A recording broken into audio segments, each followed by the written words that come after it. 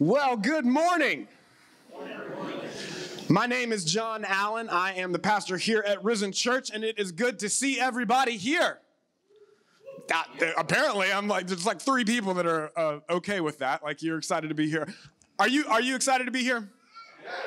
All right, I, I am too. I am very, very happy to be here. I want to reiterate if you are uh, a first time guest with us, we do have a gift for you. It's just going to be online, it's just digital. Part of the uh, restrictions for the COVID 19 gathering situation that we're in is that we can't pass out anything officially to you, and therefore we will do it digitally. Cool? So, um, it actually is a little bit more efficient, so whatever. Um, so, again, also, we have a Connect card for you to fill out online. We would love for you to do that. That's how we'll get you connected. Um, if you are joining with us online, that goes for you too. And so, we are almost halfway through 2020.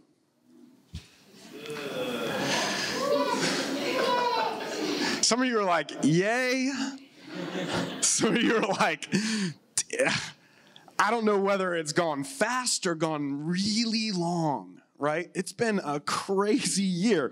A lot has happened in our country, in our world, in just a few months, right? I think it'd be an understatement to say that our land is in need of significant healing, right? We're in need of so much healing that it's actually probably pretty easy to look at our situation, everything that's going on, and get kind of cynical even maybe even cynical about the possibility that healing is even a thing. Do you think that this land can be healed? It's easy to kind of detach and think, well, you know, the Bible does talk about things getting worse. The Bible does talk about trouble and tribulation and trial heating up, ramping up. So maybe this is just it. So just buckle up and settle in, right? Yesterday, I don't know if you knew this, but yesterday was the 76th anniversary of D Day when Americans and Allied troops stormed the beaches of Normandy and fought their way to victory over fascism and just wickedness, just audacious injustice. That was yesterday. 76 years ago, that happened. It was a moment in time where the brokenness of this world was on display. But so was the humility and self sacrifice that was necessary to bring healing to the land. So we are experiencing a lot of brokenness in the world right now. But I want to share something that I came across recently that brought a little perspective and hope. So I'm going to share this uh, as we dive into the message this morning. So I want you to do something for me. Imagine that you were born here in America in the year 1900. By the time you're 14 years old, World War I would start and it would end on your 18th birthday. 22 million people would be killed in that war. Later that same year, the Spanish flu would hit and it would last until you were 20 years old. 50 million people would die from Spanish flu just in those two years. When you're 29, the Great Depression would begin. Unemployment hits 25%, global GDP drops 27%, and that lasts until you're 33. America, along with the world economy, almost com- collapses completely. But just as things are feeling a bit more stable, when you turn 39, World War II starts. When you're 41, the US is fully engaged in the war, and between your 39th and 45th birthday, 75 million people die in the war. The Holocaust kills 6 million. These are conservative estimates. When you're 52, the Korean War starts and 5 million people are killed. When you're 54, the American Civil Rights Movement begins and the United States gets turned upside down. That lasts until you're 68 years old. Some would say it's still going. When you're 62, the Cold War hits, the Cuban Missile Crisis happens, and nuclear war is halted simply through a few temperaments that could have gone a totally different direction and devastated the entire world. By the time you're 64, Vietnam begins. And that lasts until you're 75 years old, and 4 million people are killed. All in one lifetime. What we face as a nation today is difficult. There's no question. The brokenness is real. We're going to talk about that this morning. We need healing. We need healing, but the words of Jesus ring as true as they ever have. John 16 33 says this I have told you these things so that in me you will have peace. In this world, you will face trouble, but take heart, for I have overcome the world. That wasn't just for that time. That wasn't just for that time period, it's for this time period. Expect it, know it's gonna happen. Trouble, trial, tribulation, brokenness. The world is flipped upside down. Darkness is here. Jesus says, Take heart. You can find peace in me. A lot of people sort of take an attitude of just kind of throwing up their hands, like, you know, put on your mask, you know, feel like there's nothing you can really do anyway, detach, right? It's easy to believe that you're just kind of a bystander when things like this happen. It's easy to think that it's all just sort of up to the government to fix things, to take care of things. It's all on their shoulders. You know? Maybe I'll write my congressman or something. Or, or vote. That's the answer. I'll just vote. That's all I can do is vote, right? Wrong. Don't misunderstand me. Voting is great. Praise God for legitimate, untampered with voting, right? That may be the answer. That may be an answer, but it's not the answer. It's not. Don't be deceived. The brokenness of this world is not healed by a politician. It never has been. It cannot be fixed through legislation. It ain't gonna work. Like, praise God for legislation. Leg- legislation. Legislation, right? Praise God for it. But at the end of the day, it's all just a band aid over the bullet wound of sin.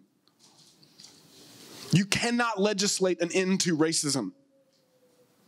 You cannot legislate an end to corruption. You cannot legislate an end to greed or fear or manipulation. These are heart issues. The government is not the ultimate solution. So, what is? Can our land be healed? And if it can, how? Anybody remember the scripture God gave us as a church at the beginning of uh, 2020? Come on, you guys haven't memorized every sermon I've preached? Look, if I've learned anything during my time as a pastor, it's that I'm not the head of this church. Jesus is. That may surprise some of you. I hope it doesn't surprise anybody. Jesus leads us, His Spirit rules and reigns in our midst. He is our leader, He is our guide.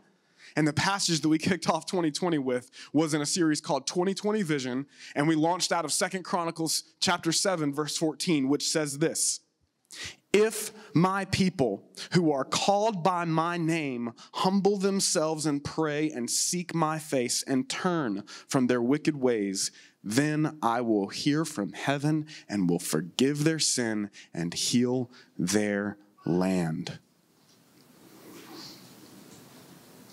slightly relevant for 2020. Don't you think? This morning, I want to rewind and refocus on the vision that Jesus gave us as his people for 2020. I want to ask this question Can there be healing for our land? Or are we just destined for dis- division and destruction? Look, there's no room for doubt here. When you look at this passage, healing is available, it's there but there is a condition attached to it. The passage starts off with if. If Americans will elect the right president, then I'll hear their land. Is that what it says? No, it doesn't say that. If the media will start actually telling the truth and set their weird agendas aside, then I'll hear their land. Is that what it says? Doesn't say that. How about if the Supreme Court would just, or, or, or what about the, if the police would only, well, what if rioters would stop? Nope. How about if Democrats would, or, or the Republicans, or, or what if Democrats and Republicans, well, what if, if black people would only, or what, white people, what if, no. Doesn't say any of that. If non Christians would just turn to God, then. Now, that one actually feels a little bit legitimate, doesn't it? Right? Lost suddenly get saved, turn to Jesus, everything turns around. That's not what it says. It says, if my people who are called by my name humble themselves and pray and seek my face and turn from their wicked ways, then I will hear from heaven and forgive their sin and heal their land. If my people, say my people. Who are called by my name, say called by my name. Who are God's people? Who are God's people who are called by his name? Well, let's back up. Okay? Remember, context matters in Scripture. Because this is an Old Testament passage, right? Like, this is Old Testament. Who's he talking about? Israel. He's not necessarily talking about us, right? This setting was thousands of years before Jesus and the church even began. This is a promise to Solomon, King Solomon, the son of King David. Just after they consecrated the temple or dedicated and built the temple of God. They consecrated it, set it apart, and they're dedicating it. And God warns King Solomon, the son of David, that if they lose sight of who God is as a people and they start running to their own ways again, then all kinds of bad things are going to break out and happen in their land. But he also then gives this son of David a promise that no matter how bad things get, if his people who are called by his name humble themselves and pray and seek his face and turn from their wicked ways, then he will hear from heaven and will forgive their sin and heal their land. So he's clearly talking about God's people in the Old Testament, the people of Israel. People who are being led by a wise king, a son of David.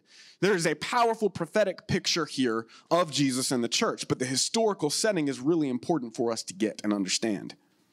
God's giving his people a powerful opportunity here and an enormous responsibility.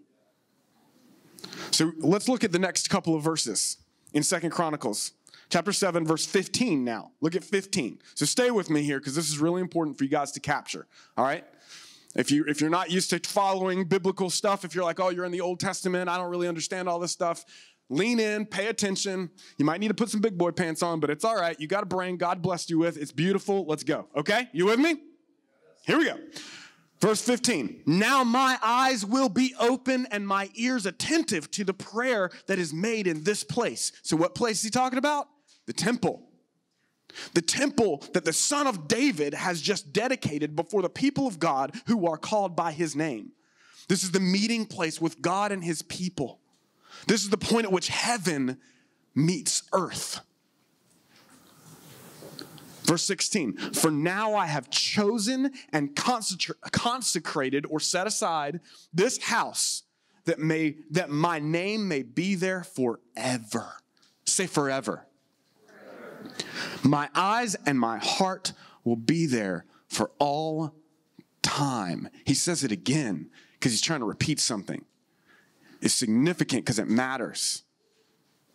So God said his eyes will be open and his ears attentive to the prayers made in the temple that was built by the son of David. Again, remember that the son of David is a title that Jesus Christ received and operated under thousands of years after this.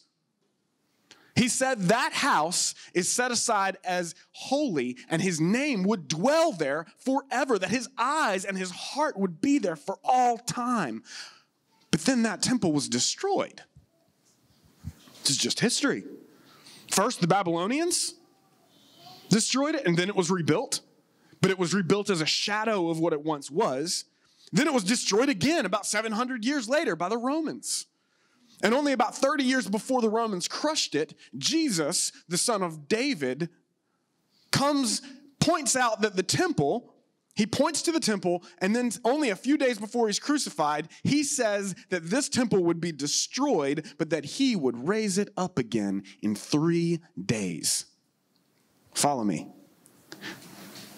About 36 years after Jesus said that, that's exactly what happened. In 70 AD, the Roman general Titus rolls into Jerusalem and he tears the temple down brick by brick.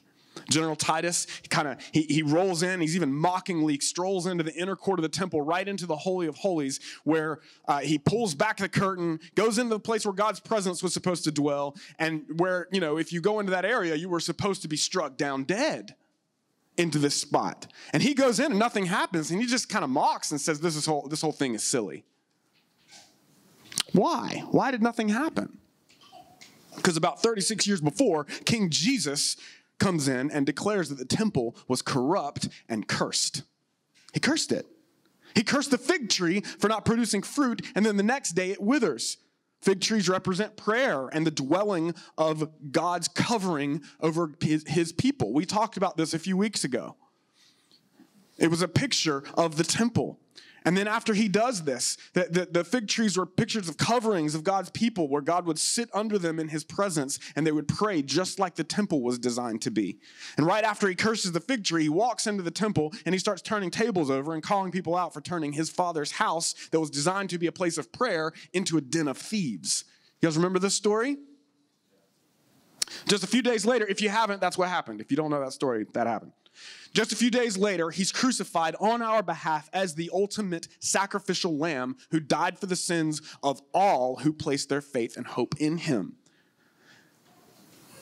And when he was crucified, when he dies, it says that this three foot thick curtain that was separated, that separated humanity from the Holy of Holies, the presence of God Almighty, was split in half from top to bottom when Jesus died. So when Titus shows up in 70 AD, when he destroyed, what he destroyed was no longer the true temple of the Lord upon the earth. Remember, Jesus said, I'll raise the temple back up in three days. So when he was crucified, the temple was officially destroyed, the curtain split. Without the presence of God, the temple was nothing but bricks. It had the appearance of godliness, but it had denied its power, which comes through his presence. After three days, Jesus is resurrected. He's raised from the dead. See, this is the gospel of Jesus Christ. This is the gospel. This is the gospel message. God became a man. He lived the life we couldn't live. He died the death we deserved to die, and he conquered death in the grave and paved the way to eternal life that starts now, not just one day when we die, but starts now. Because his Holy Spirit is made available to do what? Dwell within you. You know what that means? The temple was resurrected as his people. whomever would call upon the name of the Lord Jesus Christ. This is the church of Jesus Christ. It's not a building, it's a people filled with his spirit. His presence that goes with us and indwells within us. A people called by his name, a people submitted to one king, Jesus Christ, the son of David, a people filled with his spirit, a chosen race, a holy nation, the royal priesthood of all believers. This is what we just sang about. Right? And the church of Christ was born, then the Spirit lit the flame. Now, this gospel truth of old shall not kneel, shall not faint. By his blood and in his name and his freedom, I am free for the love of Jesus Christ who has resurrected me. Look, the, the book of Ephesians talks about each individual person being living stones that sort of house the presence of God like a temple upon the earth. That's why where two or three are gathered in his name, his presence is with you. This is the power of the local church upon the earth. You are the temple of God. All right, you got it? You got it? You know what that means? All of that to say, that means you are the place where heaven meets earth. You are the carriers of his presence. You are the agents of his redemptive work upon this earth. You are the ministers of reconciliation It's not the government's job, it's yours. The government does not have the power to change hearts. All they can do is legislate and enforce laws. You are the carriers of the presence and the promise and the power of Jesus Christ, who is the hope of the world. You are. I don't care who's in office. If the church is operating as the church is to operate, God's kingdom advances. It's a proven fact throughout history that wherever the true gospel message takes root, the land receives healing. So, who are God's people called by God's name in this land? You. It's not me, it's not my job. It's not just the pastors, the professional Christians. So weird. You are the church of Jesus Christ, the chosen race, the holy nation, the royal priesthood, the sons and daughters of the Most High King, the citizens of the kingdom of heaven, the ministers of reconciliation, the ambassadors of Christ. You are conduits of his grace and presence upon the earth, his hands, his feet, his embrace, the expression of his face, the sound of his voice to the hurting and broken. He has chosen you, set you apart, empowered, and commissioned you to bring healing and reconciliation to this world in every situation. To take this message of grace to all people, it's not up to the government, it's up to you. His eyes are upon those, his eyes are upon you, his ears are attentive to you. He has chosen and consecrated you that his name and his eyes and his heart will be with you forever. And this means he's paying attention. He's not primarily paying attention to the government or the media or the CDC or the NAACP. He's paying attention to his people who are called by his name, no matter what media outlet they pay attention to. He's on the edge of his throne, ready to unleash heavenly healing, but there is something he's waiting for. There is something he's looking for and he's listening for. Three things, just three. So simple. Three. And these are my three points, and I'm going to be done. First thing, humble yourself. Second thing, pray and seek God's face.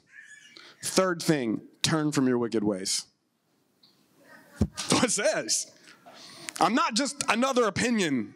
I'm tired of opinions. This is what the Word of God says. He's not asking all of America to do this. Very important. He's only asking his church to do this. So, what does this look like? Humble yourself. Entertain the possibility that you might be wrong in the way you're thinking about things. Just because it seems right to you doesn't mean it's right. Proverbs 21 2. Every way of a man is right in his own eyes, but the Lord weighs the heart. I've heard a lot of passionate rhetoric lately. Some of it sounds good, but it's absolutely ungodly. This is why God's constantly calling us to die to ourselves every day to submit ourselves to his ways and realize that his ways are higher than our ways as the heavens are above the word uh, uh, as his heaven as the heavens are above the earth so are his ways above our ways according to Isaiah 55 so it honestly doesn't matter how you feel about it. Humility is proverbs 3, verse 5 through 8. It's trusting in the Lord with all your heart and not leaning on your own understanding, and in all your ways acknowledging Him, and He will make your straight your paths. Be not wise in your own eyes. Fear the Lord and turn away from evil. It will be healing to your flesh and refreshment to your bones. Again, I'm sick of the opinions of people, man. If it's not rooted in the gospel, it's just baseless and hollow nonsense. It's just empty rhetoric, and it only breeds arrogance and division constantly. Humility stands upon the word of God, whether it lines up with your initial opinions or not. We set them aside and we seek the king. Humility isn't weakness, it's meekness. This is what it means to be God's people who are called by his name. Because there's a huge difference between weakness and meekness, right? To be meek is like being bridled. Like when you bridle a horse, imagine a, a powerful stallion that's just bursting with strength, just wide open. If you've ever been around a horse, I, I once had the opportunity to work with a high spirited, very high spirited stallion um, named Titus. No, no relation to the general I just was talking about. But this, this stallion, which the difference between a stallion and a regular horse is that the, you know, the, the stallion can still make baby horses, right? He's still got his giddy up, which means that he's filled with a lot of testosterone and they can be very difficult to handle. They can be, they can be hard to sort of like rein in, so to speak. And so this horse, he, the stallion was beautiful, man. He, he, he, had, he was black. He was a black and white paint. He had these gorgeous blue eyes. Um, and he was just pure muscle, very intimidating. Whenever he was let out of the pasture, if you've ever seen a horse do this, he, he just bolts, just takes off. And it's just this impressive show of strength. Um, he would leap up in the air and he'd kick and he'd roll around in the grass. And he, he, it was just amazing. It was like he would float and then he'd get up and just run in every direction as fast as he could. It was unbelievable. I loved watching it. But when you bridle him, when you put a bridle on him, when all of that power and strength gets meeked and placed into the hands of a good rider, all that power gets centralized into purpose. Holding the reins of Titus was like harnessing the sun in one little hand. And all that strength gets aligned and controlled, and he's meeked. And with a good rider, he was stronger than ever. To drive home this illustration, that particular horse, Titus, actually twisted a gut while rolling around and acting berserk one day, and he died from it. His unbridled nature is actually what ended up killing him. Humility says, Humble yourselves under the mighty hand of God because he cares for you. Trust in him. Humility says, along with King David in Psalm 139, Search me, O God, and know my heart. Try me and know my thoughts, and see if there be any grievous way in me, and lead me in the way everlasting. Humility is required to be the living sacrifice in Romans 12 1, it, it, it, which speaks of it. It means it's necessary to no longer conform to the pattern of this world. Humility is necessary to no longer conform to the pattern of this world so you're able to be transformed by the renewal of your mind, that by testing, you may discern what is the will of God, what is good and acceptable and perfect. You can't do any of this without humility. Without humility, you're left to your own opinions, your own deceptions. You're left to fend for yourself against a spiritual enemy who's pulling all the strings of your ego and leaving you just like a puppet in this world. Without humility, you are the problem. Without humility, violence only begets more violence. Without humility, you won't seek to learn and listen and understand. You'll only assert yourselves in moments when God is calling you to listen and be silent in moments when God is calling you to speak. Humility gives you the eyes and the ears to see and hear the Spirit of God when He's moving and how He's moving. God opposes the proud but gives grace to the humble, according to James 4. He hates haughty or arrogant eyes, according to Proverbs 6. Pride goes before destruction and a haughty spirit before a fall, Proverbs 16, 18.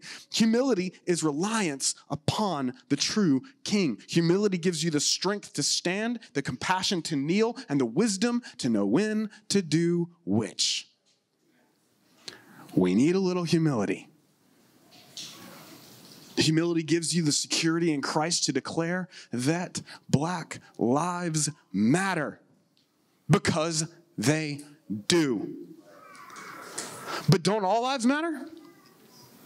Wait, wait, wait, wait, wait. Don't all lives matter? Look, guys, the fact that those two phrases are polarized in our society demonstrates the deep insecurities of our nation right now. Bear with me, okay? Because I'm about to rant. How much, what's my, okay. There is some hesitation from a lot of people to jump on the Black Lives Matter train. And I get it. I truly do. That train gets hijacked by a sinful agenda. And it honestly doesn't even necessarily believe that all black lives even matter. That's real. Because what about the unborn black life that's still in the womb? Does that black life matter? Or how about the black police officer? Does their black life matter? Or the black business owner? Does that black life matter? But just because somebody with a political agenda hijacks a phrase doesn't mean the phrase isn't true. Because black lives do matter. So, reacting to that and saying all lives matter, though also a true statement, only further ignores and devalues that black life who's trying to voice that they matter. And that is not humility.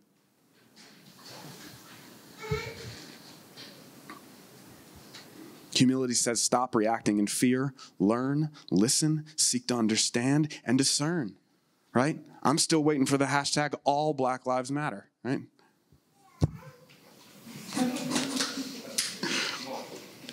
including the unborn baby, including the law enforcement officer, the business owner, the orphan, and yes, including the criminal and drug addict. Because to Jesus, the lost and wayward life matters. They don't forfeit value because of their behavior. That's very different from left or right ideals.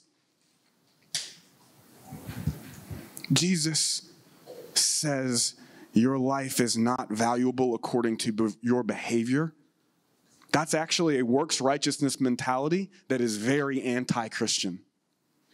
Jesus places inherent value upon all life. God values life based on the imago Dei, which is the image of God. If you see those signs, that's what it is. It's just Latin for image of God.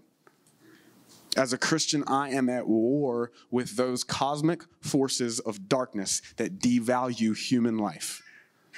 Therefore, I will shout in harmony with the author of all creation that black lives do matter, all of them. And you know what? I'm not just talking about the government or the police, I'm talking about black lives. You matter. I be, I, am not talking to some ethereal idea to like be like, oh look, I'm cool too. That's not what I'm talking about. I'm saying I, my heart is broken that that's even a thing. And when we tap into the heart of God and, and, and speak this, it's not a degradation of white lives. White lives matter. Blue lives matter. Or any other color. I don't, I don't know. This is an affirmation of inclusion and value to a group that's been historically left out. This is God's heart. Humility turns our eyes off of ourselves and the fears of what how this might affect me, roots ourselves in the security of our king, and follows him, which leads to the second thing that God is calling his people to do. Pray and seek God's face. I love this. So far, these are both action steps. They don't just happen. They are very, they are to be very intentional. Right, right? Without intentionality here, we're going to slip into arrogance and, and a dismissal of God's presence in our lives. So God is calling us to seek Him, to pray to Him, to seek Him for guidance and wisdom and strength. We just sang this. God, I look to you. I won't be overwhelmed. Give me vision to see things like you do. God, I look to you because you're where my help comes from. Give me wisdom because you know just what to do. And this is where peace comes from. There's no shame, there's no guilt, there's none of this nonsense about people like lifting themselves up above one another and then saying like well now you have to and now i have to lift myself up above you in order for me to feel like i'm free and liberated and valuable. Now you have to wallow. No that's nonsense when we look to the Lord and we praise Him and we sing these things, and I will love you, Lord, my strength. I will love you, Lord, my shield. And I will love you, Lord, my rock forever, all my days. I will love you, Lord. Hallelujah. Our God reigns forever, all my days. Our God reigns. That's the security from which we speak affirmation and value over everyone else. I want you to see that it's only the people of God who can even do this. The rest of this world doesn't know how to operate out of that kind of security. They have to operate out of a shame pride seesaw. That's not the solution. Never has been, never will be. When we look to Him, when we worship Him, when we pray to Him, when we submit to His glorious rule and reign, when we seek His face, He transforms our hearts. He changes things in us and around us. And this is only for the people of God. The government can't change hearts, only the presence of God has the power to do that. And if you are a Christian, then you are called to be a carrier of His presence one who prays, one who seeks his face. And let me tell you something about the face of God. The face of God, I, this is one of the most powerful phrases in Scripture. The face of God is a phrase that the Scriptures use to capture the manifest presence of God Almighty. It's a phrase that captures the characteristics of who He is, that you're gazing upon the very nature of the Creator, right? So let's do this. Let's do this for a little bit. You ready? The nature of the creator of the universe is diverse. Right? Like in order to be join our church, you don't have to wear a blue polka dotted polo. Right? Despite what the worship leader and I are doing right now. we are a church who loves diversity. You know why? Because God loves it. It's the triune God, the Father, the Son, the Holy Spirit. This is the Trinity. Three in one. God is by nature three persons in one divine nature. To seek the face of God Himself is to seek the very expression of unity in diversity. That gets a little deep, as it should. Oneness, but not sameness. In other words, God is not colorblind. God celebrates diversity. He embraces diversity. All of creation shouts forth his glory in a unified chorus of beautifully diverse culture and heritage. The throne room of heaven is filled with every tribe, tongue, and nation singing in a unified phrase and pra- of praise that holy, holy is the Lord God Almighty. And they're saying it in multiple different languages and, and expressions of culture. And it's gorgeous and it's beautiful and it's godly. And the Creator did that. God sees color.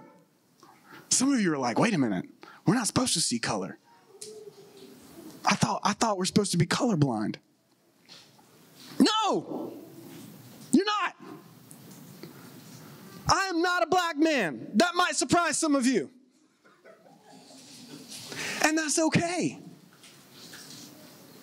God sees color and he sees culture and he sees these things and he loves them.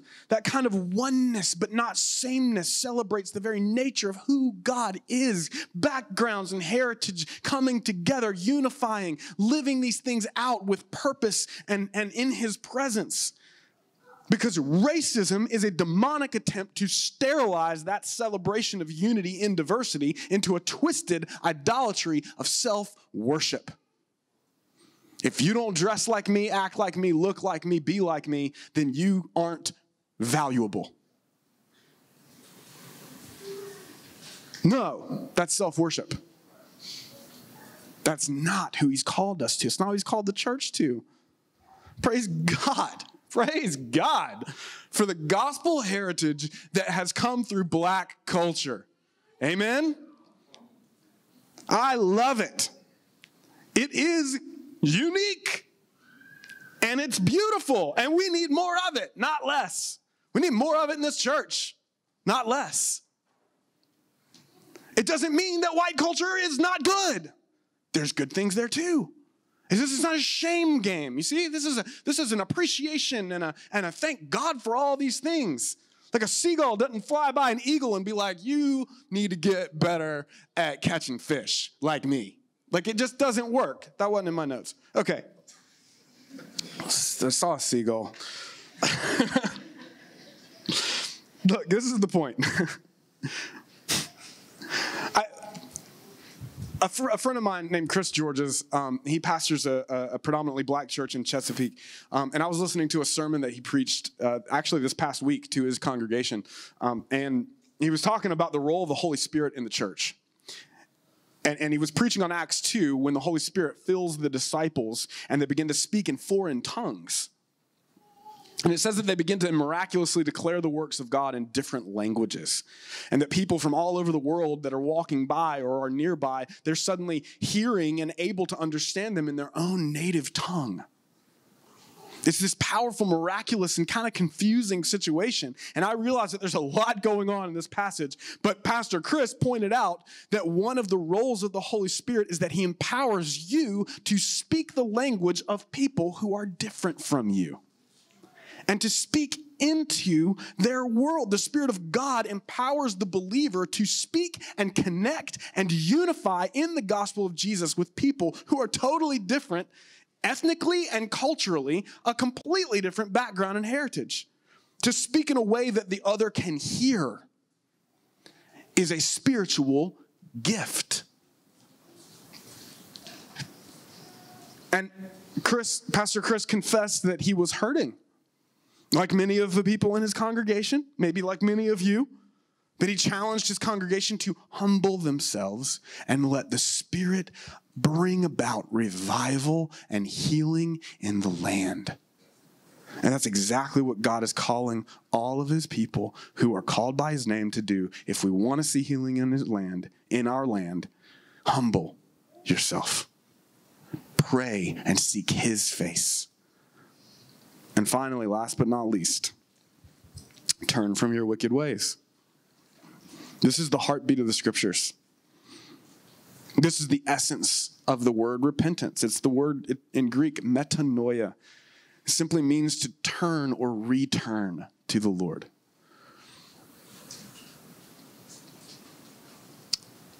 So, what wicked ways might he be talking about?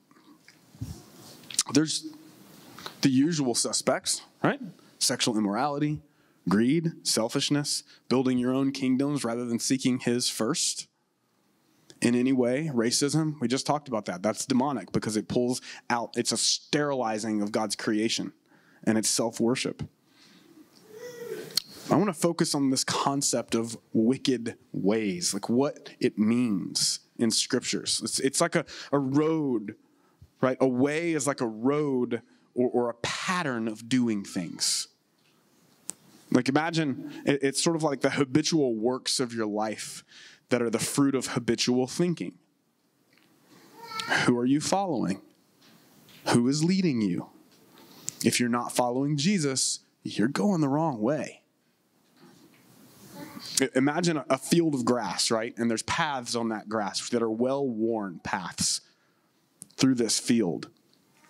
Those are the paths that are there because they're the places that people travel. And spiritually, there are a lot of paths in this world. They're there because that's the ways of this world. It's the pattern or ways of the wicked, those that have rejected the way or the path of God, that is, that path of everlasting life. And each path gets presented to us as a righteous path. Every one of them does. And they will twist and pervert the truth. As God's people, we need to continually repent. It's not just a one-time thing because this isn't just about salvation. This is about this is about bringing God's glory, manifesting who he is and bringing healing to our land. This is not a constant like people are like, "Well, I don't need to repent. I already prayed to receive Christ." You have totally missed the gospel. Because the gospel says that we are constantly being pulled left and right, and there's a spiritual enemy who wants to take us out and wants to defame his name and his glory. And Jesus says, Follow me down this path.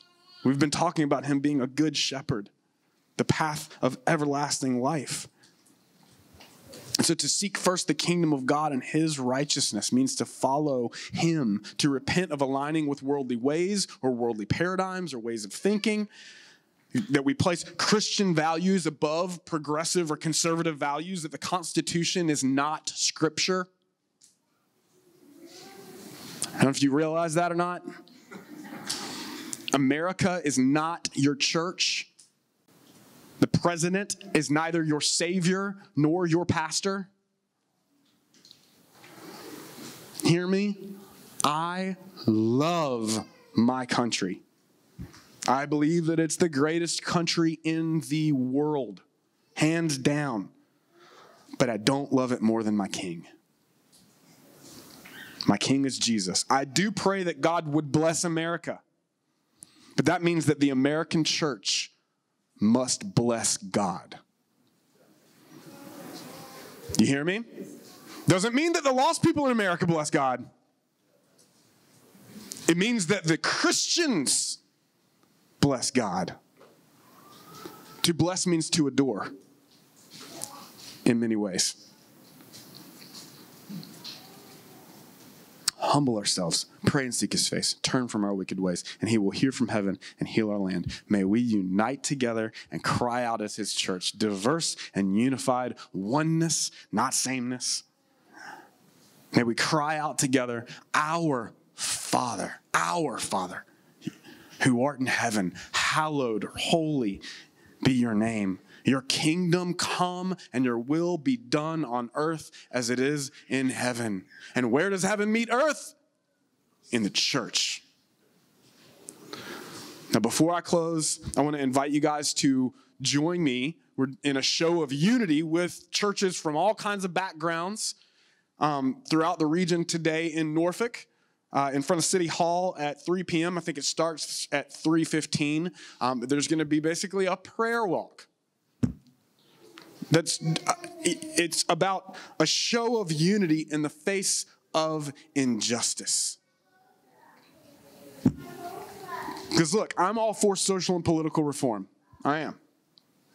But let me tell you something.